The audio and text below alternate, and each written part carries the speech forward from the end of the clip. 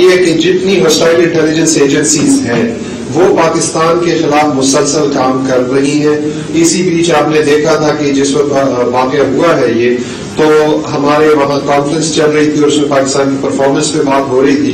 और हम इस चीज़ में बहुत क्लियर हैं कि बेसिक टारगेट वो कॉन्फ्रेंस थी जो वहाँ पे हो रही थी और जिसमें पाकिस्तान को डाउनग्रेड करने की बात चल रही थी। बेसिक टारगेट ये थी कि था कि पाकिस्तान को एम्बेरस किया जाए। वालेकुम नाजरीन, मैं मुनीज जहांगीर। आप देख रहे हैं प्रोग्राम स्पॉटलाइट ये थे इंस्पेक्टर जनरल पंजाब इनाम गनी जो लाहौर में 30 जून को होने वाले धमाके के हवाले से बात कर रहे थे। ये धमाका कलदम तंजीम के सरबरा हाफिज सईद के घर के करीब जौहर टाउन में हुआ, जिसमें तीन अफराद जाबहक और 24 जो हैं अब तक जख्मी हुए हैं। नामगनी इस कॉन्फ्रेंस जो वो कह रहे थे जी, इस कॉन्फ्रेंस की बात जब वो कर रहे थे, वो इन्हीं दिनों में पेरिस में जारी थी और ये थी फैटफ की फोर्थ प्लेनरी मीटिंग जिसमें फैसला किया गया कि पाकिस्तान को ग्रे लिस्ट में ही रखा जाएगा। इस इजलास की सदारत फैटफ के चेयरमैन सदर डॉक्टर मार्कस प्लेयर ने की और कहा कि पाकिस्तान ने कुछ नुकात पर अमल दरामद किया है लेकिन अभी कुछ कलदम ग्रुपों और अफराद के हवाले से कार्रवाई का निज़ाम जो है वो वाजे नहीं किया गया। उन्होंने क्या कहा ये आपको दिखा देते हैं। लेकिन एक नुकते पर अभी भी मुकम्मल अमल दरामद होना है। कौम मुतहदा की तरफ़ से जिन दहशत गर्द ग्रुपों की बात की गई है उनकी तहकीकात और प्रोसिक्यूशन के हवाले से मजीद इकदाम उठाए जाए। इसके अलावा एक और अमल पिछले कई साल से जारी है। दो हज़ार उन्नीस में एशिया पैसिफिक ग्रुप ने कई इश्यूज़ की निशानदेही की थी जो पाकिस्तान के एंटी मनी लॉन्ड्रिंग और इस्तेदाद दहशत गर्दी फाइनेंसिंग निज़ाम के हवाले से थे। Anti-money laundering and counter-terrorist financing system. तब से पाकिस्तान की तरफ़ से बेहतरी सामने आई है। पाकिस्तान के निजी शोबे में मनी लॉन्ड्रिंग के हवाले से आगाही पैदा की गई। और फाइनेंशियल इंटेलिजेंस को बुरोकार लाते हुए केसेस बनाए गए। तमाम बहुत सारे शोबों में फैटअप ने जो कायदों बाबत मुरतब किए हैं उनको मौसम अमल दरामद नहीं करवा सका। जिसकी वजह से मनी लॉन्ड्रिंग के इम्कान बढ़ जाते हैं और करप्शन और मज़बूत जराइम के हवाले से मिसाइल का सामना करना पड़ता है। यही वजह है कि फैटअप ने हुकूमत पाकिस्तान से बात की तो बताया कि किन शोबों में बेहतरी लाई जाए। ये उस नए एक्शन प्लान का हिस्सा है जिसका तलक मनी लॉन्ड्रिंग से है। नाजरीन, अगर पाकिस्तान ग्रे लिस्ट में रहता है तो इसका पाकिस्तान की मीशत पर बहुत बुरा असर पड़ सकता है। क्या असर पड़ सकता है, ये हम पूछेंगे। हमारे साथ मौजूद हैं फैजुल्ला कमोका जो कौमी असम्बली की कमेटी बरए फाइनेंस के चेयरपर्सन हैं। तलाल चौधरी साहब हमें ज्वाइन करेंगे, जिनका ताल्लुक पाकिस्तान मुस्लिम लीग नून से है। वो वज़ीर मुमलिकत बरए दाखिला रह चुके हैं। जायद खान हमारे साथ मौजूद हैं, सबक सेनेटर रह चुके हैं और अवामी नेशनल पार्टी के तर्जुमान हैं। उनकी नुमाइंदगी कर रहे हैं। आपका बहुत बहुत शुक्रिया। सबसे पहले आपकी जाने आऊँगी जी चूँकि आप कमेटी के अंदर हैं और फाइनेंस की कमेटी के अंदर हैं। ये कहा जाता है कि अराउंड 38 बिलियन का नुकसान हुआ था जब पिछली दफ़ा में फैक्टर ऑफ़ ग्रे लिस्ट के अंदर डाला था। तो इस बार कितना माशी नुकसान हो सकता है? देखिए डेफिनेटली नुकसान तो इसका बहुत ज़्यादा है और अभी कोई असेसमेंट इसकी नहीं की जा सकती हम्म। है। जो गवर्नमेंट ऑफ़ पाकिस्तान है सबसे पहले तो बिलियन डॉलर्स जी मैं थोड़ा सा आपको वजाहत कर दूँ। ये जो ग्रे लिस्ट में पाकिस्तान का नाम शामिल हुआ ये पाकिस्तान तहरीक इंसाफ की गवर्नमेंट आने से पहले। दुरुस्त बिल्कुल ठीक है जी। बिल्कुल। इसमें ग्रे लिस्ट में पाकिस्तान का नाम आने में पाकिस्तान तहरीक इंसाफ का किरदार नहीं है जो सबका हुकूमतें हैं। उनकी वजह से पाकिस्तान का नाम ग्रे लिस्ट में आया। अच्छा अब इस पे जो हमारे तीन साल गुजरे हैं इसमें पाकिस्तान तहरीक इंसाफ ने भरपूर तरीके से इसके ऊपर कोशिश की और being chairman standing committee on finance revenue and economic affairs हमने भी बड़ा रिगरसली इसके ऊपर काम किया और जितने भी anti money laundering laws terror financing के हवाले से एंटी टेरर फाइनेंसिंग लॉज थे वो हमारी ही कमेटी से पास होके गए और तो बड़ा कम्प्रीहेंसिव क्योंकि देखिए ना अभी तक जो रिव्यू हुआ है द फैक्ट रिमेन्स कि आप अभी ग्रे लिस्ट में हैं। और पहली दफ़ा उन्होंने कहा है कि आप ऑर्गेनाइजेशंस के खिलाफ कार्रवाई करें और आप एक ढांचा बनाएँ जिसके तहत हम आप ये कह सकें जी हाँ, कि इनके खिलाफ कार, जो कानूनी कारा चारा जोई है वो हो रही है। उसके अंदर इंडिविजुअल्स का नाम भी है उसके अंदर ऑर्गेनाइजेशंस का नाम भी है। अच्छा इसमें मैं आपको बता दूँ जो हमारे पार्ट पे है हम वो काम कर रहे हैं। जो गवर्नमेंट के करने वाला काम है यानी केसेस को डिटेक्ट करना उनको इन्वेस्टिगेट करना और उनको कोर्ट्स तक लेके जाना। राइट जो फैसले हैं वो कोर्ट्स ने करने हैं और फेलियर कहाँ है? अदालतों की तरफ़ देखिए जी बिल्कुल आ, मैं ये तो नहीं कहता हमारे जो एक निज़ाम इंसाफ है इसमें आप सबको पता है डिले है लेट होते हैं फैसले। तो है। ये मैं थोड़ा सा इस पे वजाहत करना चाहता हूँ। दो तरह से पाकिस्तान को असेस किया जा रहा है दो फोरम्स के ऊपर।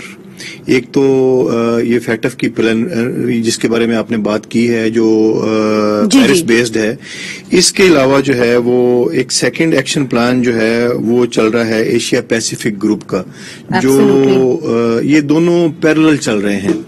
तो 26 जो पॉइंट्स हैं वो हमने मीट कर लिए जो फैटफ के रिलेटेड थे और एक पॉइंट के ऊपर अभी जो है वो हमने अपना जो काम था वो उनके आगे रखा है वो सेटिस्फाई नहीं हुए। वो कौन सा पॉइंट है? वो पॉइंट यही है जिसके बारे में आप इंडिकेट कर रही हैं कि जो लोगों को जो लोग कन्विक्ट हुए और उनको जो जो सजाएँ मिलनी चाहिए थी वो उस तरह से उनको सजाएँ नहीं मिली बिलखसूस किन इंडिविजुअल्स का नाम लेते हैं जब आप इनसे बात करते हैं? वो इन तंजीमों का नाम लेते हैं और जो लोग स्पेशली जो सिक्योरिटी काउंसिल ने अकवा मुतहदा के प्लेटफॉर्म से सिक्योरिटी काउंसिल ने जिन तंजीमों को बैन किया हुआ है बहुत सारी तंजीमें हैं। आप आप किसकी तरफ़ इशारा कर रहे हैं? आप किस आपको का, क्या कहा जाता है जब आप उनसे मिलते हैं? कौन सी तंजीमों का कौन से इंडिविजुअल्स का नाम लिया जाता है? ऐसे कोई एक तंजीम के हवाले से तो बात नहीं होती है। आ, सभी तंजीमें जिनको बैन किया गया है मसलन?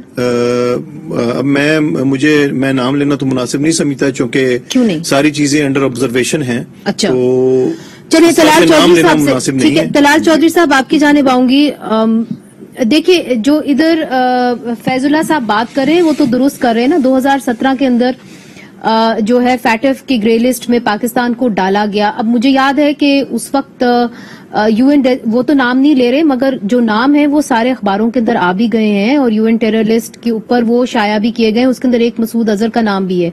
आपकी हुकूमत थी और आपने उस वक्त चाइना से कहा था कि इनको यूएन टेरर लिस्ट के ऊपर आप मत आने दें और चाइना ने उसके ऊपर अमल दरामद भी किया। फिर बाद में चाइना ने इसको ब्लॉक नहीं किया। तो पाकिस्तान की जो हुकूमत है उसका क्या पॉइंट ऑफ़ व्यू है इन टेरर ग्रुप्स के हवाले से फिर? बिस्मिल्लाहमान रहीम बहुत शुक्रिया मुनजे बिल्कुल फैजुल्ला कमोका साहब ने आ, जो फेटफ के बारे में कई चीज़ें हकाइक बयान किए हैं। मैं थोड़ा सा इसमें इजाफा कर दूँ। कि जब हम हुकूमत में आए थे तो उस वक्त भी पाकिस्तान ग्रे लिस्ट में था। और उसके बाद फिर किस तरह ग्रे लिस्ट से हमने इसको निकाला, वो भी आपके सामने। और दोबारा ग्रे लिस्ट में जाने की जो वजह थी, वो वजह जो थी उसमें हमारी कारकर्दगी या हमारी कमिटमेंट इस हुकूमत की पूरी करनी कम थी, बल्कि वो जो डॉन लीग्स था, वो सबसे बड़ा मामला बना। जब हुकूमती लेवल पर जब एक इंस्टीट्यूशन जो है इस तरह की अपने ही स्टेट के खिलाफ कोई एफआईआर दर्ज करवा दे, जिसको डॉन लीक्स कहा जाए तो फिर उसके बाद अगर शुक्र करें कि आप ग्रे में गए उसके बाद जब उसी मौके पर मैं आपको थोड़े से वो धरने भी याद करवा देता हूँ, मैं आपको तहफज पाकिस्तान के नाम पर निकलने वाली रैलियाँ, जिस जो कि सीधा हमें पॉलिटिकली हमारे मुखालिफ थी और वो निकवाली, निकलवाई जाती थी मैं उसकी वो सारी जमातों के नाम अगर बता दूँ तो फैजुल्ला कमोका साहब कहेंगे कि यही नाम तो फेटअप भी ले रहा है।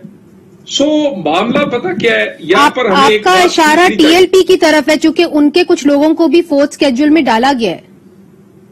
देखिए ये सिर्फ़ एक टीएलपी तो एक है ना जी। इसके अच्छा। अलावा भी टीएलपी के अलावा भी है ना जिसको बैकिंग की गई जिसको आ, अब कई जमातों ने जो आज हुकूमत में अपने पॉलिटिकल मुफाद के लिए हमें बुरा बनाया तो इन्हें हमें गद्दार बनाया गया हमें जहाद के अखलाफ ज़ाहिर किया गया हमें डॉन लीग्स का मुजरम बनाया गया और फिर उसका आफ्टर इफ़ेक्ट ये आया कि पाकिस्तान ग्रे लिस्ट में गया। और आज मैं ये आपसे ये सताइस में से जो कह रहे हैं छब्बीस हमने पूरी की है। पूरी दुनिया में जितने मैं इसको क्योंकि इंटीरियर में हैंडल करता रहा हूँ मैंने भी एंटी स्मगलिंग और मनी लॉन्ड्रिंग की कानून साजी उस वक्त हमने भी की। मगर मैं आपसे बता दूँ ये बहुत ऐसा फोरम है कि यहाँ सिर्फ़ आप कमिटमेंट पूरी नहीं करते बल्कि आउटलुक भी आपकी देखी जाती है जब आपकी आउटलुक ऐसी हो कि आपको डॉन लीग साहब खुद उसके अच्छा। बने हो और आप खुद कई लोगों की स्टेट लगे के या स्टेट इंस्टीट्यूशन बैकिंग कर रहे हैं चंद लोगों की हज़ार हज़ार रुपए बांटे जा रहे हैं तो फिर उसके इफ़ेक्ट जो है वो इंटरनेशनली इसी तरह के आते हैं। अच्छा so, मेरा ख्याल ये है कि जी आपने बात आउटलुक की की इसके इस बात को मैं जरा थोड़ा आगे बढ़ाना चाहती हूँ। जायद खान साहब हमारे साथ मौजूद हैं। जायद साहब आपके ही सूबे के अंदर उसामा बिन लादेन जो है आ, वो पकड़े गए थे मगर हाल ही में वज़ीर आज़म ने उनको शहीद कहा। फिर इंफॉर्मेशन मिनिस्टर ने कहा कि जी ये स्लिप ऑफ़ टंग है। उनका मतलब ये कहने का नहीं था। आप समझते हैं जिस तरह तलाल साहब कह रहे हैं कि आउटलुक का मसला है मगर क्योंकि जो पाकिस्तान पाकिस्तान तरीके इंसाफ है उसका मौकफ ये वाजे रहा है कि हमारे दौर में नहीं हुआ। ये तो 2018 में डाला डाला गया था पाकिस्तान को फैटफ की ग्रे लिस्ट में। देखिए मुझे भी एक बात वाजे है कि 2016 में जब एफएस का वाक्य हुआ आपको याद होगा। हम्म। तो यही पीटीआई की हुकूमत इधर धरने दे रहे थे इस्लामाबाद में। हम्म। और वो इतना खौफनाक था और इतना उसमें जो नुकसान हुआ है शायद वो कभी ज़िंदगी में न पूरा हो सके और न उनका कोई नाम बदल हो। वो बेचारे जो उनके वालदीन थे वो आज भी अपने इंसाफ के लिए फिरते रहते हैं। और हम्म। उस उस वक्त नेशनल एक्शन प्लान बना जिसमें अमल दरामद करना था वो बीस नुकात का था याद होगा हम्म। आज मुझे बताएँ कि उसमें से किस नुकते पे अमल हुआ? उस वक्त जो ये मेरा भाई कहते थे इमरान खान उस वक्त कह रहा था कि टीटीपी को आप पिशावर में परवेज खाटा को कह रहा था कि आप इसको ले दे। अब जब यहाँ तक आप साथ देंगे और आप फिर कहेंगे कि जी हमें लिस्ट में डाला गया आप यही यही बात आज हो रही है। आज मैं अब देखिए अब काफ़ी अरसे से हमारी फाइनेंशियल जो सुदूर है और हमारे जो मरकज है हम बार बार बयान दे रहे हैं कि जी अफ़गानिस्तान के हालात बहुत तबाही की तरफ़ जा रहे हैं। हम्म। और हमारे यहाँ पे मस्जिदों में लोग खड़े होके अफ़गानिस्तान के जिहाद के लिए छंदे मांग रहे हैं? तो आप मुझे बता दें कि आप कैसे उनके दुनिया के आँखों में दूर डूबने की कोशिश करते हैं? जब आपके डीट बाजी इस्लामाबाद आते हैं तो आपके इंटीरियर मिनिस्टर कहते कि ये अफगानी है। तो अफगानी यहाँ रहते हुए जाके अफ़गानिस्तान में जब जिहाद करते हैं और उसके डेड बॉडी आते हैं तो हम क्या मुँह दिखाएँगे दुनिया को? हम्म, मुझे हम्म। मुझे समझ नहीं आती। हम अपने आप को धोखा दे रहे हैं या कौन। को धोखा दे रहे या दुनिया को धोखा दे रहे और इस वक्त मैं भी एक बात मैं वाजे करना चाहता हूँ। जो। सूरत अभी बन के आ रही है ना वो तवाकुन होगा। वो जो पहले चालीस साल हमने जो हमाजा भुगता है ना वो वो सिर्फ़ ये ये एक आप कहेंगे ये आ गए वो नहीं है, वो तो बहुत आसान कम था। अभी जो कुछ हो रहा है या जो कुछ आएँगे। देखिए जो कुछ होने जा रहा है और जो इनखला हो रहा है वो तलाल साहब से भी पूछना है फैजुल्ला साहब से भी पूछना है। इनखला बड़ा आप सही कह रहे हैं और ये खदशा भी ज़ाहिर किया जा रहा है कि अफगान रेफ्यूजीज फिर से यहाँ पे रुख करेंगे और वहाँ पे दहशत गर्दी की लहर फिर से उठेगी। मगर फैजुल्ला साहब सिर्फ़ अफगान रेफ्यूजीज नहीं करे। जब आपके यहाँ पे वो तंजीमें जब चंदा मस्जिदों में खुल के मेरे सूबे में चंदा हम कितने अच्छे से हमारा आपने याद होगा इमन बुली खान रोज तकरीर करते हैं और ये कहते हैं कि भाई इसको रोको। अगर इसको हम्म। नहीं रोकोगे तो ये ये तबाही की तरफ़ हम जाएँगे साहब जो ये ठीक। आपको कैसे जायद साहब ने जो सवाल उठाया है देखिए ये खबरें भी छपी हैं।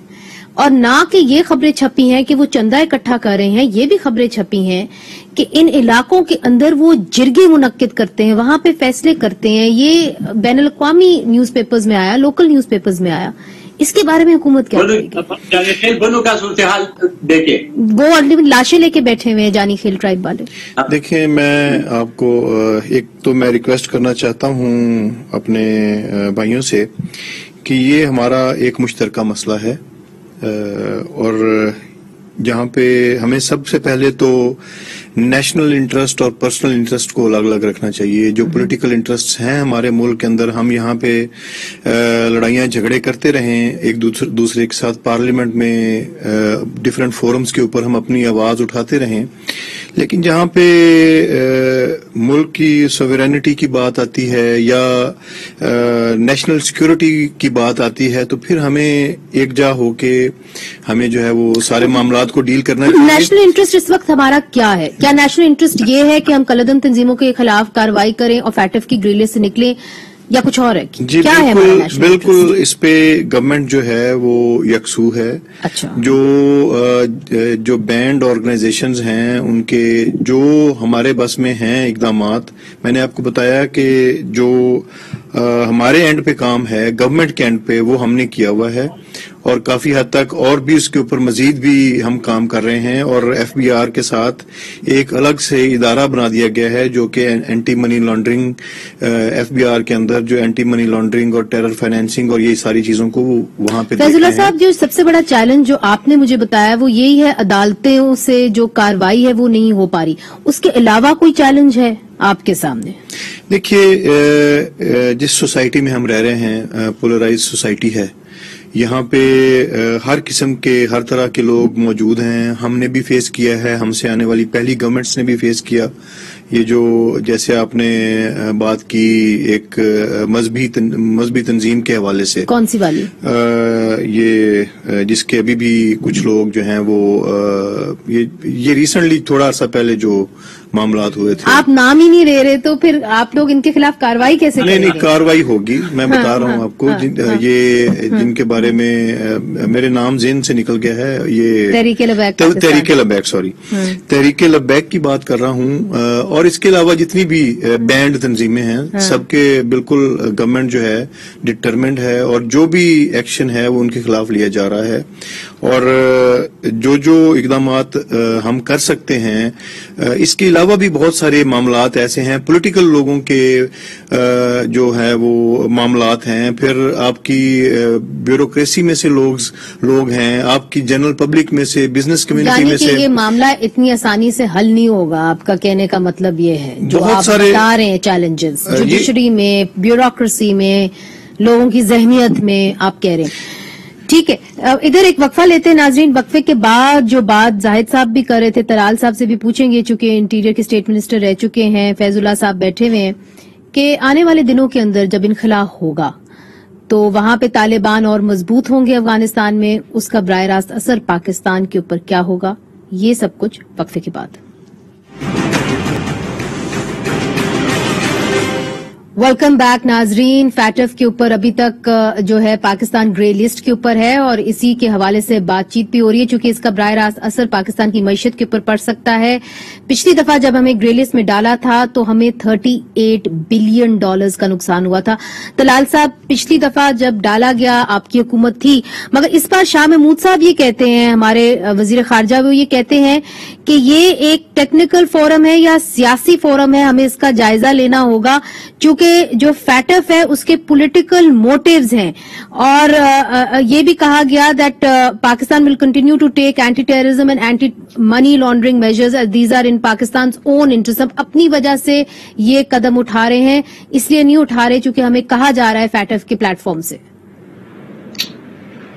देखिए एक जो भी वो टेक्निकल है वो पॉलिटिकल है लेकिन एक बात हकीकत है कि वो एक ऐसा फोरम है कि हम इंटरनेशनल कम्युनिटी में से अपने मुल्क को या अपने आप को लहदा नहीं कर सकते। हम्म। या कम अज कम हम ये नहीं कह सकते कि हम नहीं हम इसका हिस्सा नहीं बनेंगे हम मानेंगे नहीं। सो ये दुनिया के साथ ही चलना पड़ता है वो टेक्निकल है और पोलिटिकल है तो दोनों चीज़ें हमें मैनेज करनी चाहिए।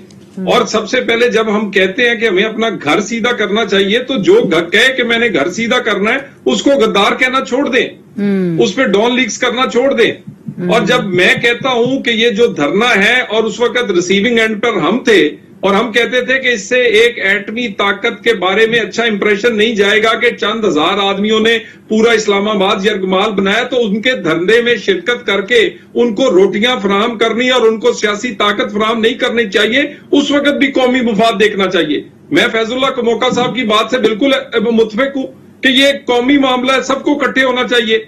मेरा ख्याल है इन्हें अपना रोल इन्होंने प्ले किया है चार साल डॉन लीग्स और उसके बाद धरनों में और इस तरह की जमातों में जिनके नाम इसमें शामिल हैं तो उसके उस पर इन्हें खुद अपने सियासी जो किरदार है उस पर इन्हें गौर करना चाहिए और उस पर कम अज कम बताना चाहिए कि वो गलती हुई इनसे। हाँ इस वक्त हम जो एज ए ऑपोजिशन हमने अपना सियासी नुकसान किया है, बल्कि हमें तो ये ताने मारते हैं। हम फेटअप का कानून पास करके आते हैं। ये बाहर आके प्रेस कॉन्फ्रेंस करके कहते हैं ये एनआरओ मांग रहे हैं।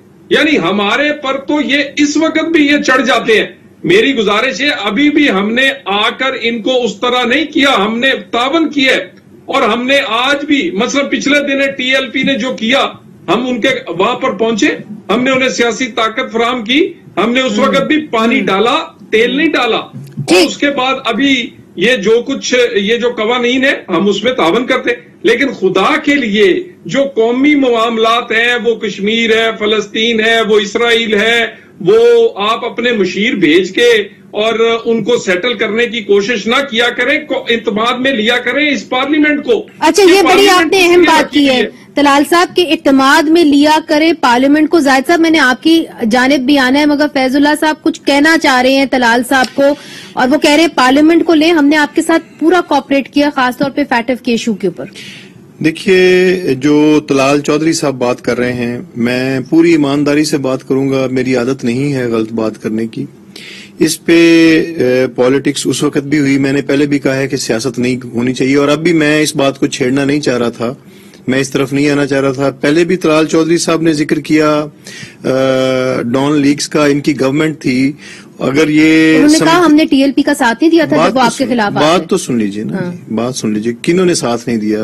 मैं आपको मैं आपको इनके जो लोग हैं इनके नुमाइंदे हैं मैं उनको अच्छा। आपकी वीडियोस दिखा सकता हूँ जो उन, उनमें शामिल थे और लोगों को वो इंस्टिगेट कर रहे थे कि जी आप शामिल हों और पत्थर मारे तरीके लबैक के जी जी शामिल थे। मैं मैं अच्छा। मैं नेक्स्ट मीटिंग नेक्स्ट आप प्रोग्राम रख लें मैं आपको दिखा दूँगा।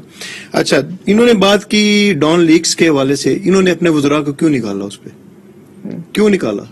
अगर ये गलत हो रहा था तो उस वक्त इनको वज़ीर आज़म इनके थे गवर्नमेंट इनकी थी इनको स्टैंड लेना चाहिए था। अब अब जो ये पाकिस्तान के इदारों को मिलाइन कर रहे हैं यानी वहाँ लंदन से बैठ के तकरीरें हो रही हैं और जैसे तलाल चौधरी साहब अब फरमा रहे हैं तो उस वक्त तो इनकी गवर्नमेंट थी।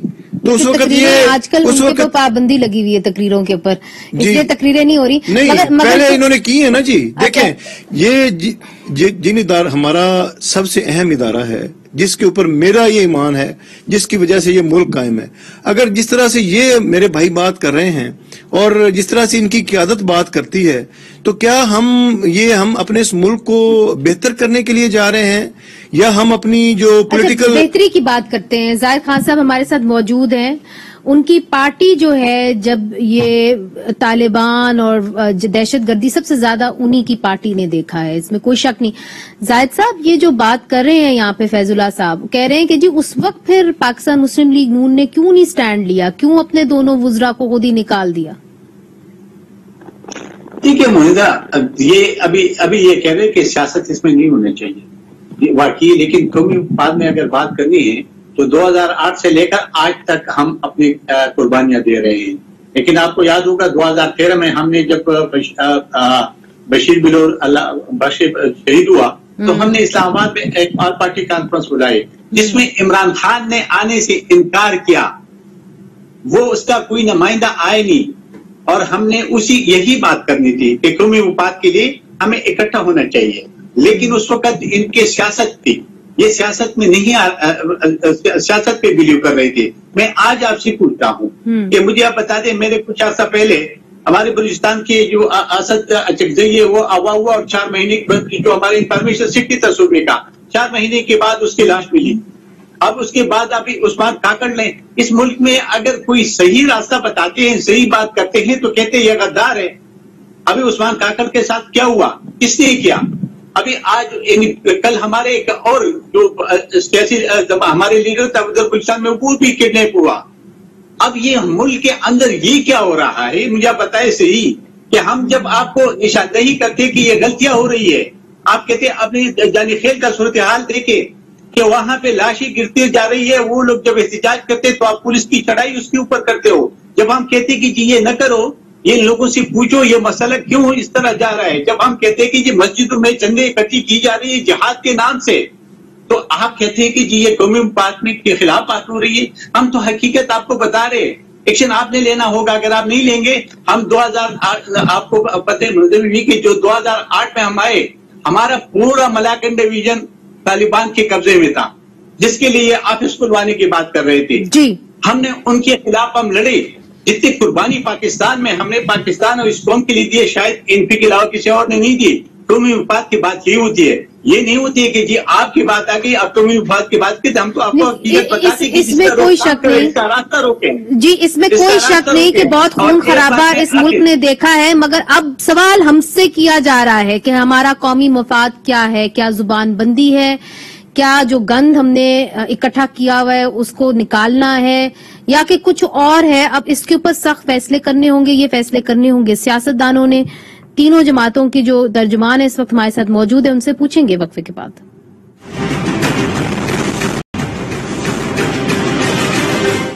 वेलकम बैक नाजरीन ये फैसला किया गया है फैटफ के हवाले से कि पाकिस्तान को ग्रे लिस्ट में रखा जाएगा और फ़िलहाल नहीं निकाला जाएगा। हाल ही में वज़ीर दाखिला ने एक इंटरव्यू दिया। उसके अंदर उन्होंने क्या कहा? आपको दिखाते हैं फिर बात को आगे बढ़ाते हैं। हमने सालों आईएसपीआर से ये ब्रीफिंग सुनी थी कि हमारी जंग अलकायदा से है। तालिबान के साथ जंग पे हमारी फिर भी दुनिया शक कर रही थी लेकिन अलकायदा का बिल्कुल अव्यस्त था अब इसमें हमारी गलती कहाँ से देखिए असल मसाइल क्या है? मसाइल ये हैं कि तालिबान की या दूसरे जो वहाँ लोग हैं उनकी फैमिलीज़ यहाँ रहती हैं।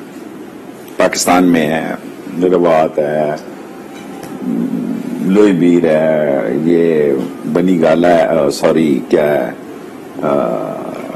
बनी से पहले जो हमारा आता है। बारको बारको है तरनोल है। इसी के अलावा देखिए एक बहुत बड़ा उनका उनकी बाज डेड बॉडीज भी आ जाती हैं। बाज मेडिकल ट्रीटमेंट के लिए भी लोग बाज हॉस्पिटल्स ऐसे हैं जहाँ उनकी ट्रीटमेंट हो जाती, होती है। सो ये सारी सूरत हाल पाकिस्तान को देखें 40 साल से जो तलाल चौधरी साहब, अगर वज़ीर दाखिला साहब ये कह रहे हैं, इसका इतराफ कर रहे हैं तो ये इतना आसान नहीं होगा। अब हकीकत तो ये है कि ये ग्रुप्स यहाँ पे हैं। कितना मुश्किल होगा इसका सफाया करना? लोग कहते हैं इसका जो है ब्लो बैक आएगा। इसीलिए नहीं सफाया किया जा सकता। देखिए मसला ये है कि जब यानी दुनिया में सबसे ज़्यादा दहशत गर्दी की जंग में जान सबसे ज़्यादा लॉस हुआ है तो वो पाकिस्तान का हुआ है। और इस जंग में साथ देते हुए सत्तर हज़ार लोग शहीद कर लिए गए अरबों डॉलर का नुकसान कर दिया गया। उसके बाद उसके बावजूद हमें इस इस बात पे गौर क्यों नहीं करते कि उनके बावजूद दुनिया हम कन्विंस नहीं कर पा रहे दुनिया को? क्यों नहीं कर पाते जी? क्यों दुनिया को जब अब, देखिए ना डबल गेम्स जब हम करते हैं ना तो दुनिया अब इतनी भोली नहीं है। वो टेक्नोलॉजी से लेकर और बहुत सारी ऐसी चीज़ें हैं जो हमारी चीज़ों को एक्सपोज कर देती है और हमारी जो कुर्बानियाँ उसको भी जाया कर देती है। सो हमें मेरा ख्याल है बड़ा क्रिस्टल क्लियर जो चीज़ों को करना पड़ेगा अच्छा। और इसके लिए मैं आपसे एक बात बता दूँ कोई चीज़ उस वक्त तक कामयाब नहीं होती जब तक पॉलिटिकल फोर्सेस उसके पीछे खड़ी ना हो यानी अच्छा। वही रेंजर्स वही वही फौज वही पुलिस वही सिक्योरिटी के अदारे थे दहशत गर्दी की जंग उस दिन कामयाब हुई जिस दिन पूरी पॉलिटिकल फोर्सेस पीछे खड़ी हो गई हम्म। कराची का अमन हो फाटा की जंग हो जरबे हजब हो पॉलिटिकल फोर्सेस के बगैर आप ये काम नहीं, नहीं कर ये बात आपने जो so, की है ये आगे बढ़ाती हूँ मैं तलाल साहब। जायद साहब जो तलाल साहब बात करें कि जी पॉलिटिकल फोर्सेस के बगैर आप ये जंग नहीं लड़ सकते। और ये बताइए अब अब आपके सूबे के अंदर सबसे ज़्यादा ब्लो बैक होगा अल्लाह ना करे मगर खदशा तो ज़रूर है। आप क्या समझते हैं कि हल क्या है इसका? देखिए मजर बीबी, के जब आप जब कौमी मुफाद की हम बात करते हैं, जब हमारे इंटीरियर मिनिस्टर ये बात मान लेते कि उसकी फीमिलीज किसकी फीमिलीज इधर रहती अफगान तालिबान की। और उसकी डेड बॉडी वहाँ से क्यों आते हैं? तो ज़ाहिर है कि जिहाद करते हैं तो उसके डेड बॉडी आते तो फिर आप मुझे बता दें, अगर मैं ये बात करूँ तो ये कौमी मुफाद के खिलाफ है। सच बोला मैंने। अगर इंटीरियर मिनिस्टर करे तो ये कौमी, मुफाद में खैर कोई बात नहीं है। असल में मसला यही है, ये डबल स्टैंडर्ड है। ये डबल स्टैंडर्ड दुनिया देख रही है आपकी। आपको देख रहे हैं कि आप करना आप क्या कर रहे हो। एक्चुअल में पोलिटिकल आप आपने तो जिस तरीके से अफ़गानिस्तान का अगर यहाँ से बंदूक उठा के जाके काबल पे कब्जा कर लेगा तो आपका क्या ख्याल है कि जो वहाँ पे बैठे हुए लोग हैं हम्म। वो उधर बैठे रहेंगे या उठ के वो आएँगे और फिर ये फिर लड़ाई होगी और ये खाने जंगी की तरफ़ हल क्या है जायद साहब? बता दे। हल क्या यही है कि हाँ हल यही है कि हमारे स्टेट इन सिक्योरिटी फोर्सेस अब आपको याद होगा कि जब हमारी हुकूमत आई तो पूरा सुबह तकरीबन कब्जे में था उनकी तालिबान की। लेकिन हम जो पोलिटिकल जो फोर्सेज है वो जो फौज के शाना बशाने खड़े हो गए तो आपने देखा कि स्वाद की कितनी आबादी थी पूरा तो बिल्कुल वक्त की किल्लत है इसलिए मैं पूछ रही हूँ कि हल आप समझते हैं जिस तलाल साहब कह रहे हैं पोलिटिकल फोर्सेज को आना होगा मैदान में आना होगा। जी। अच्छा तब, ठीक तब आएगा जब नहीं मैं, लेकिन वो तब आएगा जब आपकी सिक्योरिटी फोर्सेज ये यकीन कर ले कि वाकई इनके बगैर नहीं हो सकता है। हम जब जब जब जीत सकते हैं जब पूरा कौम एक हो तो तभी जाके जीत सकते हैं। फैजुल्ला साहब वो ये कहते हैं कि जी पॉलिटिकल फोर्सेस के बगैर आप ये जंग नहीं लड़ सकते और आपको ये रियलाइजेशन है कि आपको इनको भी साथ लेके चलना होगा। जिस तरह के ये कह रहे हैं और ये नहीं हो सकता कि मैं कहूँ तो नेशनल इंटरेस्ट के खिलाफ हूँ अगर शेख रशीद साहब कहें तो फिर नेशनल इंटरेस्ट के फेवर में है नहीं ऐसी बात नहीं है जी। एक बात तो आ, मैं आपकी बात का जवाब देते हुए जिस तरह से बिल्कुल क्लियर कट ये बात कर रहे हैं ना स्टैंड लेने की। इमरान खान साहब ने स्टैंड लिया है। इससे पहले किसी हुक्मरान ने आप कोई ऐसी एक वीडियो मुझे दिखा दें किसी ने कोई स्टैंड लिया हो। मीडिया के पास तो अब सारा रिकॉर्ड मौजूद है ना। अभी शेख रशीद साहब ने बात की तो आपने दिखा दी यहाँ पे। जिस तरीके से इमरान खान साहब ने स्टैंड लिया है कि नो मोर और उसके साथ उन्होंने कहा कि हम अड्डे भी नहीं देंगे यहाँ पे। एक चीज़ तो ये इनको कब साथ कर... लेके जाएँगे? क्योंकि अच्छा, वो अहम बात वो मैं बता रहा हूँ आपको। दूसरी बात ये है कि जैसे ही ये बजट सेशन खत्म हो रहा है थर्टीथ को इनशाला वाइंड अप हो जाएगा। तो फ़र्स्ट जुलाई को एक पार्लियामेंट्री लीडर्स की एक मीटिंग रखी गई है पार्लियामेंट के फोरम पे ही होगा। और तमाम जो हमारी जमातें हैं उनके लीडर्स को इनवाइट किया गया है। उसके अंदर ये अफ़गानिस्तान का जो इमर्जिंग जो स्नैरियो है उसके ऊपर उन तमाम को बताया भी जाएगा ब्रीफिंग भी दी जाएगी और उनकी, भी होंगे उसमें? मुझे इसका तो कंफर्म नहीं है। ज़ाहिर है मैं इसका पार्ट नहीं हूँ। लेकिन ये कह रहा हूँ कि उसमें तमाम जमातों की नुमाइंदगी होगी और उन